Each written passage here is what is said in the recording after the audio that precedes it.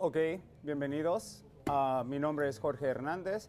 Tonight we're going to be making piñata la diabla. It's going to be a spicy drink, but you're going to like it.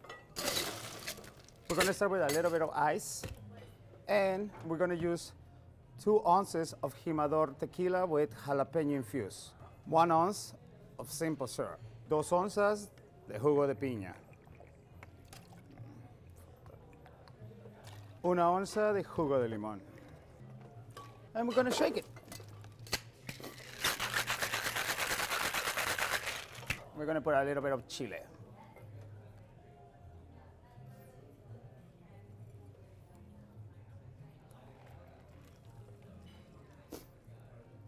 There you have it.